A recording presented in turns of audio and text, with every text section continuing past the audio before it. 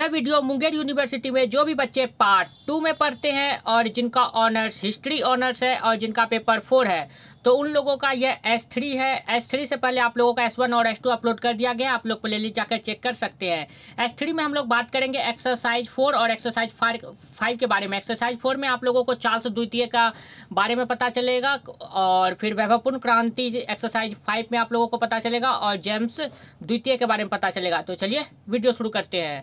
तो देखिए सब इसमें जो, जिसमें जिसमें टिक लगा हुआ है, जैसे कि इसमें टिक लगा हुआ है, इसमें टिक लगा हुआ है, इसमें टिक लगा हुआ है तो ये सब टिक लगा हुआ है जिसको है, उसको आप लोग को याद करना ज़रूरी है। और बाकी सबको आप सिर्फ़ एक बार पढ़ लीजिए। माइंड में अटा तो ठीक, नहीं तो कोई बात नहीं। तो चलिए, एक्सरसाइज फोर शुरू करते हैं।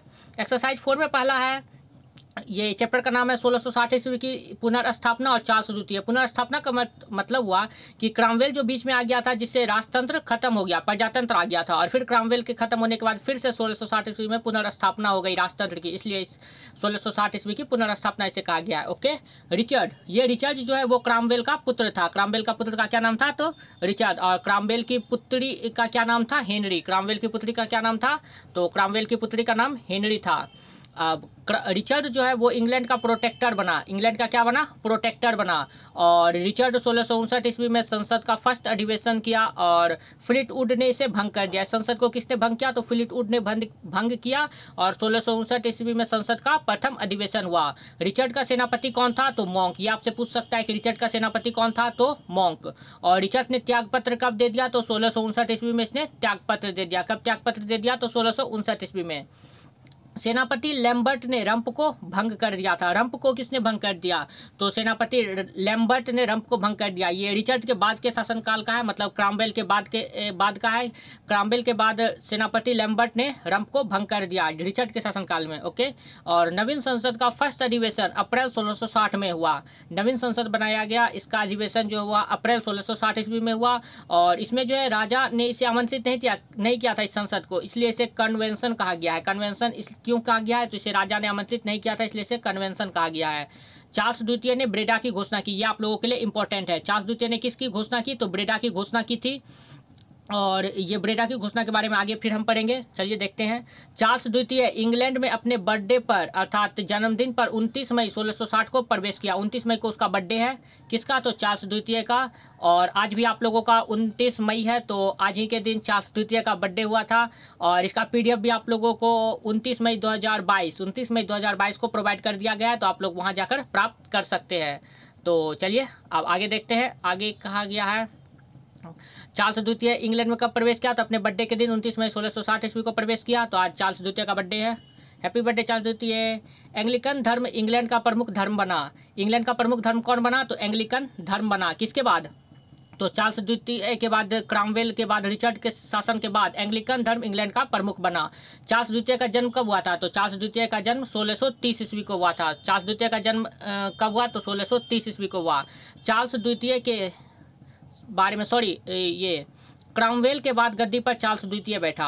अर्थात ये क्रामवेल के बाद बैठा था रिचर्ड रिचर्ड के बाद चार्ल्स द्वितीय गद्दी पर बैठा। चार्ल्स द्वितीय बैठा गद्दी पर। चार्ल्स द्वितीय का जन्म छः सौ तीस ईस्वी में हुआ था। चार्ल्स द्वितीय के बारे में कहा जाता है। क्या कहा जाता है? उसका ना तो कोई सिद्धांत था, ना विश्वास और ना ही सम्मान। ये चार्ल्स द्वितीय के बारे में कहा जाता है। ये भी ऑब्जेक्टिव में पूछ सकता है। बस एक बार पढ़ लीजिएगा ताकि याद रहे। और चार्ल्स द्वितीय के, ने 1660 में इंग्लैंड में सिंहासन पर आसीन हुआ। चार्ल्स द्वितीय कब गद्दी पर बैठा तो 1660 ईस्वी में इंग्लैंड के सिंहासन पर बैठा। ये इंपॉर्टेंट आप लोगों के लिए। तेरह न्यायाधीशों जो चार्ल्स प्रथम की मृत्युदंड पर साइन किए थे, चार्ल्स प्रथम को पता है कि मृत्युदंड दिया गया था क्रामवेल के शासनकाल में तो चार्ल्स प्रथम को जब मृत्युदंड दिया गया था, जो जो भी न्यायाधीश उसमें सिग्नेचर किए थे, उसको और क्रामवेल के सबको निकाल कर सबको फांसी दे दिया गया। सबको क्या कर दिया गया? तो सबको फांसी दे दिया गया।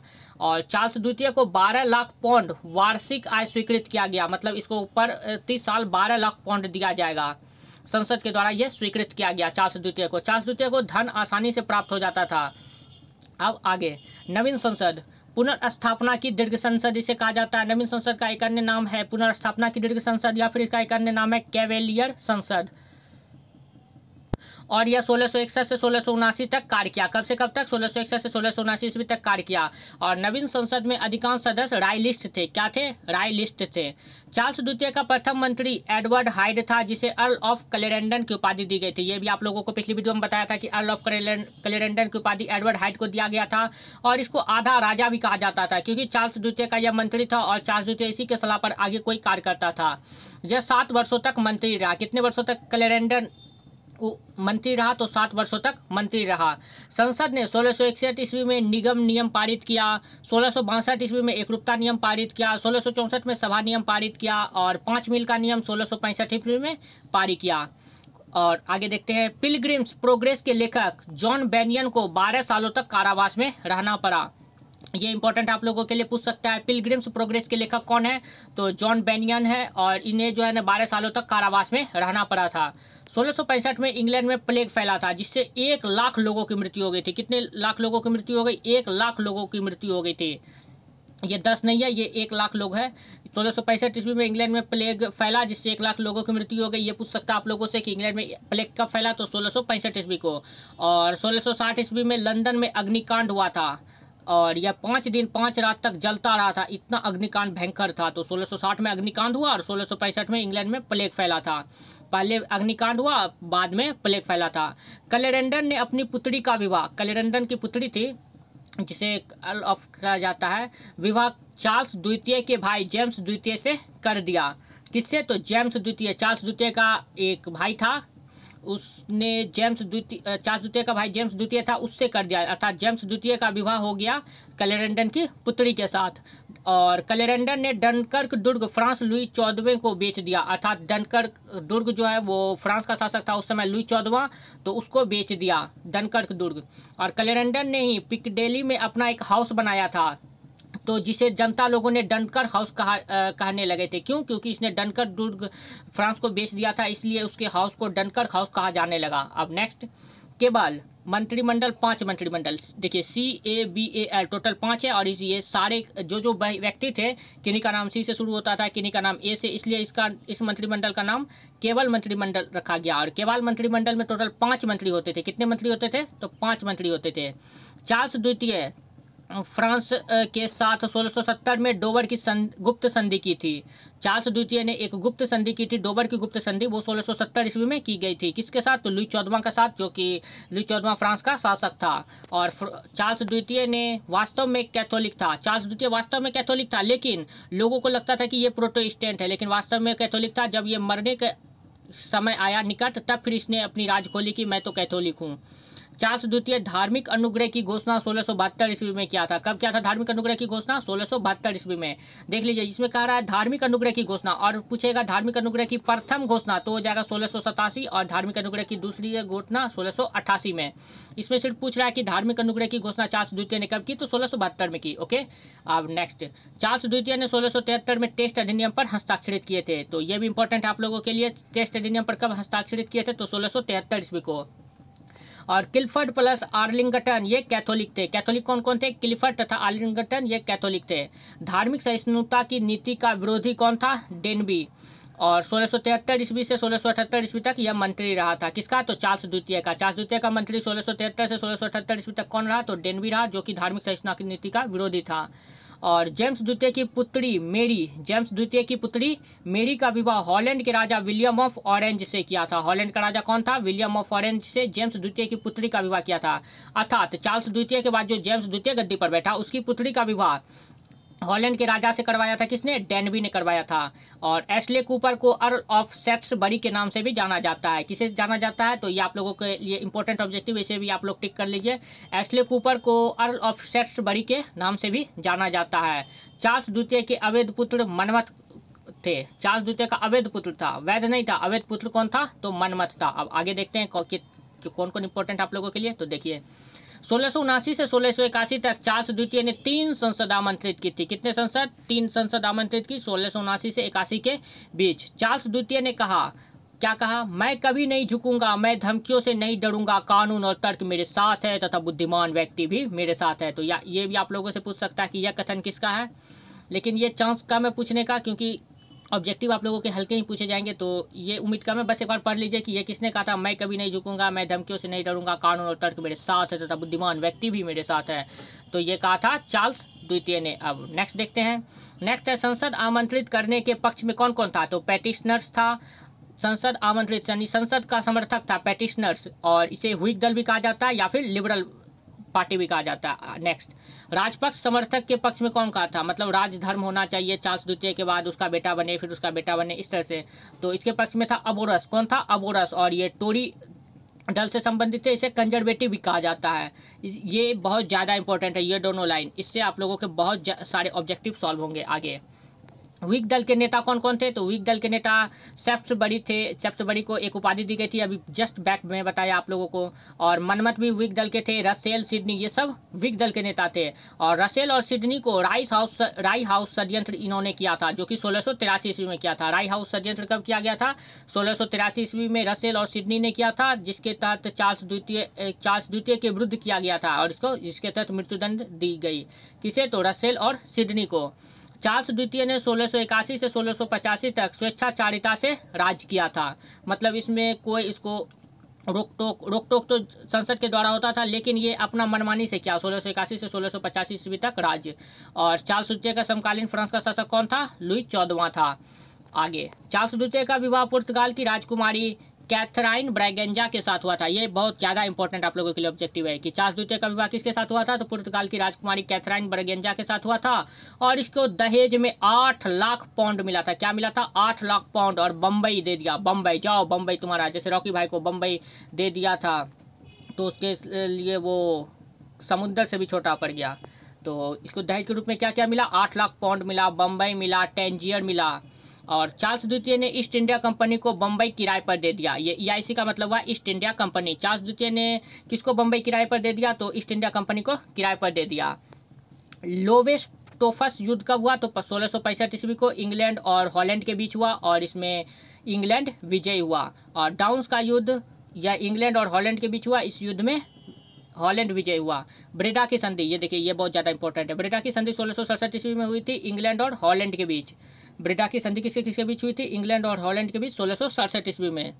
न्यू एम्स्टर्डम का नाम ड्यूक ऑफ़ यार्क, जेम्स द्वितीय के नाम पर न्यूयॉर्क पड़ा। अर्थात न्यूयॉर्क का नाम जो अमेरिका में है, उसका किसके नाम पर पड़ा? तो जेम्स द्वितीय के नाम पर न्यू एम्स्टर्डम, पहले उसका नाम था। और ड्यूक ऑफ़ यार्क, अर्थात जेम्स द्वितीय के नाम पर इसका नाम न्यूयॉर्क पड़ा। एक्सला सेपल या त्रिडल संधि।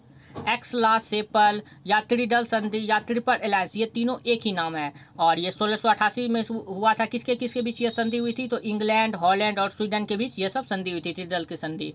और स्टेट अधिनियम, डोवर की गुप्त संधि, स्टेट अधिनियम आया था, जिससे डोवर की गुप्त संधि खत्म हो गई थी, जो कि फ्रांस के साथ किया गया था। चार्ल्स द्वितीय ने किया था डोवर की गुप्त संधि फ्रांस के साथ तो ये स्टेट अधिनियम पारित करके इसे खत्म कर दिया गया। चार्ल्स द्वितीय ने डेनबी, जो कि प्रोटेस्टेंट था, उसको मंत्री बनाया लास्ट में। क्यों? क्योंकि उसके विरुद्ध जनता विद्रोह करने लगी थी तो डेनबी, जो कि प्रोटेस्टेंट था, उसको मंत्री बनाया। और चार्ल्स द्वितीय कैथोलिक था, आप लोगों को बता ही दिया। चार्ल्स द्वितीय की मृत्यु कब हुई? सोलह ईस्वी को। चार्ल्स द्वितीय का उत्तराधिकारी कौन था? उसका भाई जेम्स द्वितीय था। उसका भाई कौन था? जेम्स द्वितीय, जो कि सोलह से सोलह ईस्वी तक शासन किया, मात्र तीन साल तक शासन किया था जेम्स द्वितीय। और फ्रांस के में अधिकतर कौन से रहते थे? कैथोलिक फ्रांस में रहते थे, इसलिए जो है चार्ल्स द्वितीय कैथोलिक का समर्थक था, क्योंकि वह खुद कैथोलिक था, इसलिए फ्रांस के साथ वो दोस्ती हमेशा बढ़ाना चाहता था। और इंग्लैंड में अधिकतर रहते थे प्रोटेस्टेंट। इंग्लैंड में कौन रहते थे? प्रोटेस्टेंट। अब नेक्स्ट देखते हैं। नेक्स्ट एक्सरसाइज पाँच आता है आप लोगों का, वैभवपूर्ण क्रांति और जेम्स द्वितीय। राजा के दैवी अधिकारों के समर्थक कौन थे? टोरी दल के थे। राजा के दैवी अधिकारों के समर्थक कौन थे? तो टोरी दल ये राजा के समर्थक थे, अर्थात जेम्स द्वितीय के समर्थक थे। खूनी न्यायालय का न्यायाधीश कौन था? जेफरीज। और खूनी न्यायालय कब हुआ था? इसका आप लोगों जब ऑब्जेक्टिव आप लोग न्यू ऑब्जेक्टिव बुक पढ़ेगा उसमें डेट दिया गया है तो आप लोग कमेंट करके कर सकते हैं। अगर आप लोगों ने याद किया कि खूनी न्यायालय कब हुआ था, किसके शासनकाल में हुआ था, आप लोग बता सकते हैं। खूनी न्यायालय किसके शासनकाल में हुआ? जेम्स द्वितीय के शासनकाल में हुआ और न्यायाधीश उस समय थे जेफरीज। जेम्स द्वितीय लंदन में नवीन गिरजाघर बनाया। नवीन गिरजाघर लंदन में किसने बनाया? तो जेम्स द्वितीय ने बनाया। आगे। जेम्स द्वितीय का विरोधी दल विग दल था। जेम्स द्वितीय का विरोधी दल कौन था? विग दल मतलब समर्थक इन लोगों का कौन हो गया? टोरी दल, जेम्स द्वितीय का समर्थक। जेम्स द्वितीय ने सेजमर नामक स्थान पर मनमत को बंदी बनाया था। मनमत को कहाँ बंदी बनाया? तो सेजमर नामक स्थान पर। जेम्स द्वितीय ने विश्वविद्यालयों में हस्तक्षेप किया और वहाँ का कुलपति सबको कैथोलिक बना दिया था। जो जो कैथोलिक होते थे, उन्हें इस कुलपति का पद, डीन का पद, ये सब का पद दिया जाता था। तो विश्वविद्यालय में भी हस्तक्षेप किसने किया? जेम्स द्वितीय ने। जेम्स द्वितीय की प्रथम पत्नी से दो पुत्रियाँ प्राप्त हुई थी। कौन कौन तो मेरी और एन तो जेम्स द्वितीय स्टुअर्ट वंश के थे, आप लोगों को पता ही है। तो ये मेरी और एन भी स्टुअर्ट वंश की हो गई। तो आप लोगों बहुत से कमेंट आते हैं कि मेरी स्टुअर्ट वंश का अंतिम शासक कौन था? तो सबसे छोटी बेटी इसकी कौन थी? इसकी सबसे छोटी पुत्री थी एन सबसे छोटी पुत्री कौन थी एन और बड़ी पुत्री कौन थी? मेरी। और मेरी का विवाह जो है, वो हो गया था विलियम ऑफ़ ऑरेंज के साथ। आगे बताते हैं। दूसरी पत्नी कौन थी? तो जेम्स द्वितीय की दूसरी पत्नी थी मोडेना और इससे एक पुत्र की प्राप्ति हुई। इसी के कारण गौरवपूर्ण क्रांति हुई थी, अर्थात सोलह सौ अठासी ईस्वी में जो हुई थी ग्लोरियस रिवोल्यूशन। 10 जून सोलह सौ अठासी ईस्वी को रक्तहीन क्रांति 10 जून सोलह सौ अठासी ईस्वी को इसी 10 जून सोलह सौ अठासी में इसके पुत्र का जन्म हुआ तो सोलह सौ अठासी में ही फिर गौरवपूर्ण क्रांति हुई थी। जेम्स द्वितीय का दामाद कौन था? तो विलियम ऑफ़ ऑरेंज था। इसकी बड़ी पुत्री के साथ इसका विवाह हुआ था, हॉलैंड का जो कि शासक था, और पाँच नवंबर सोलह सौ ईस्वी को वो टोरबे बंदरगाह पर उतरा था। और जेम्स द्वितीय का सेनापति कौन था? चर्चिल। और जेम्स द्वितीय का छोटी पुत्री कौन थी? एन। और ये दोनों जो है ना, बाद में विलियम से जाके मिल गए थे। किससे मिल गए? विलियम से जाके मिल गए चर्चिल और एन। तो फिर जेम्स द्वितीय ने क्या कहा? ईश्वर, दया कर। मेरे अपने ही बच्चे मेरा साथ छोड़ चुके हैं। ऐसा किसने कहा? तो चार्ल्स द्वितीय ने ऐसा कहा कि क्योंकि उसका छोटी पुत्री और सेनापति जाके विलियम से मिल गया था। तेईस दिसंबर सोलह को राजमोहर को टेम्स नदी में फेंक कर फ्रांस भाग गया। कौन भाग गया? तो जेम्स द्वितीय भाग गया। ये देख लीजिए, यहाँ पर ये सारे जेम्स द्वितीय से निकल के आए हैं, लकीर। तो ये सब जेम्स द्वितीय से संबंधित है, ओके? अब आगे, जेम्स द्वितीय के बाद इंग्लैंड की गद्दी पर कौन बैठा? तो विलियम तथा मैरी गद्दी पर बैठे विलियम और मैरी। मैरी कौन थी? तो जेम्स द्वितीय की ही पुत्री थी। अर्थात तो मैरी थी स्टुअर्ट वंश की और फिर विलियम जिस वंश के होगा, आगे का शासक उसी वंश का होगा। और इंग्लैंड में न्याय विभाग तथा कार्यकारिणी विभाग को पृथक पृथक कर दिया गया था। तो ये पृथक विभाग था ऑब्जेक्टिव में आप लोगों का। तो ये कहाँ हुआ था? तो इंग्लैंड में हुआ था। तो ये आप लोगों का आज चौथा और पाँचवा कंप्लीट हो गया आज ही, या फिर कल सुबह तक में आप लोगों का एक्सरसाइज छो कंप्लीट कर दिया जाएगा। एक्सरसाइज छो आप लोगों के लिए बहुत ज़्यादा इंपॉर्टेंट है। उसमें आप लोगों को जितने भी वंश से संबंधित क्वेश्चन आते हैं, उसमें रानी एन के बारे में बात करेंगे, मेरी के बारे में बात करेंगे, छोटा पीठ के बारे में बात करेंगे, बड़ा पीठ के बारे में बात करेंगे, इसके अतिरिक्त विलियम ऑफ़ ऑरेंज की बात करेंगे, ये सब की बात उसमें करेंगे। बहुत ही ज़्यादा, बड़ा चैप्टर है वो, उसमें आप लोगों के बहुत ज़्यादा ऑब्जेक्टिव निकलेंगे, बहुत ज़्यादा इंपॉर्टेंट है। अगर आप लोग एक्सरसाइज सिक्स तक कर लेते हैं एक्सरसाइज सिक्स तक कर लेते हैं तो आपका सेवेंटी परसेंट आ जाएगा मार्क्स और हंड्रेड परसेंट मार्क्स लाने के लिए आप लोगों को जो है कम से कम एक्सरसाइज दस तक कंप्लीट करना है और जो बच्चे आराम से टेंशन फ्री होकर देना चाहते हैं तो वो एक्सरसाइज सिक्स तक ओनली कर ले जो कि आज या फिर कल सुबह तक में अपलोड कर दी जाएगी। ओके आप लोगों को बस एक्सरसाइज सिक्स तक ये कंप्लीट कर लीजिए और फिर जो आप लोगों का न्यू ऑब्जेक्टिव बुक दिया है वो कंप्लीट कर लीजिए। बस आप लोगों का तैयारी अच्छी हो गई। और आ, कोई बिना डर के कोई टेंशन के जाना चाहते हैं तो उसके लिए आप लोगों को एक्सरसाइज दस तक तैयारी करनी पड़ेगी। और एक्सरसाइज छो के बाद आप लोगों को शायद वीडियो प्रोवाइड ना हो लेकिन पीडीएफ ज़रूर प्रोवाइड हो जाएगा और आप लोग पीडीएफ से अच्छे से समझ सकते हैं। क्योंकि अब पीडीएफ में इस प्रकार बनाया जाता है कि आप लोग को दो तीन बार ये छः एक्सरसाइज तक जब करवा दिया जाएगा तो आप लोग खुद समझने लगेंगे कि पीडीएफ की बात की, यह कहना क्या चाह रहा है ओके तो चलिए, मिलते हैं नेक्स्ट वीडियो में, और आप लोगों का जल्द ही वो जो ऑब्जेक्टिव बचा है, दो सौ अड़तीस ऑब्जेक्टिव लगभग, वो भी सोमवार तक में कंप्लीट कर दिया जाएगा तो घबराए नहीं। और जो, बहुत सारे बच्चे कमेंट किए हैं, उनका भी रिप्लाई आप लोगों को सोमवार तक में सारे के मिल जाएँगे। तो चलिए, मिलते हैं नेक्स्ट वीडियो में। वीडियो देखने के लिए बहुत बहुत धन्यवाद, और कोई प्रॉब्लम है तो आप लोग पूछ सकते हैं और इसका पीडीएफ भी आप लोगों को टेलीग्राम चैनल पर मिलेगा तो टेलीग्राम चैनल जुड़ना बिल्कुल भी ना भूले और हलपट की अपडेट आप लोगों को टेलीग्राम चैनल पर दी जाती है, चाहे वो पीडीएफ हो, चाहे फिर न्यूज़ हो, डेली न्यूज़ आप लोगों को टेलीग्राम चैनल पर प्रोवाइड की जाती है तो टेलीग्राम चैनल से जुड़ना बिल्कुल भी ना भूले। तो चलिए मिलते हैं नेक्स्ट वीडियो में। Thank you